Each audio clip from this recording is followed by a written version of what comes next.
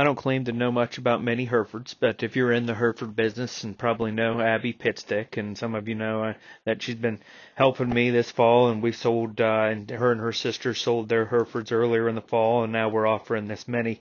But uh, she is a, a an attractive, nice, balanced heifer. That's very correct in terms of her proportions. For a mini, she's really clean and attractive about her front end uh, really good in her shoulder and just her her shape in terms of composition and structure in general is real good.